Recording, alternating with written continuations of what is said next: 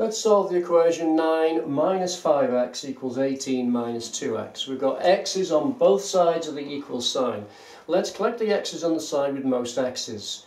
Your initial reaction might be to think that there's more x's on the left because 5 is bigger than 2. But if you look closely, this is a negative 5x and that's a negative 2, 2x. This is 5 below 0, that's 2 below 0. Well, 2 below 0, if you think a temperature if you like, 2 below 0 minus 2 is actually a bigger value than minus 5.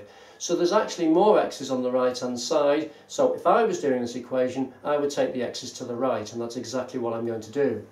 So I'm going to leave the minus 2x, the minus 2x, I'm going to leave exactly unchanged. It doesn't swap sides and it doesn't swap signs. So minus 2x remains minus 2x on the right hand side.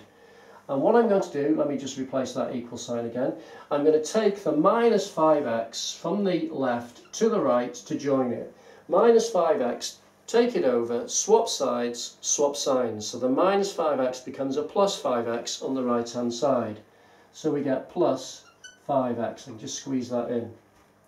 Okay, so I've collected the x's on the right. That means I now collect the number terms on the left hand side. Well, I've got two number terms, the 9 and the 18, to go on the left hand side. So I've got 9, that doesn't move anywhere, it doesn't swap sides, it doesn't swap signs. So it remains as 9, which means plus 9.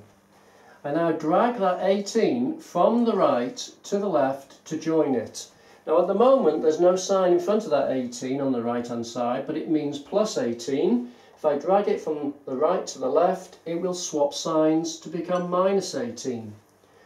So we get that statement. 9 minus 18 is equal to minus 2x plus 5x. Let's tidy up a bit.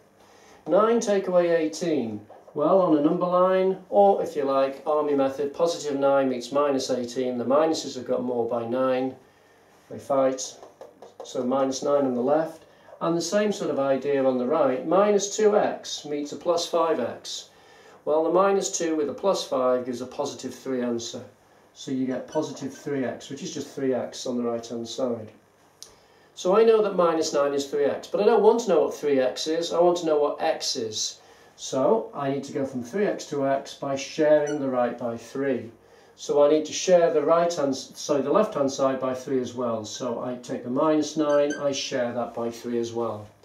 Minus 9, share by 3, gives you an answer of negative 3. And there you go. So minus 3 is equal to x is the solution to this equation.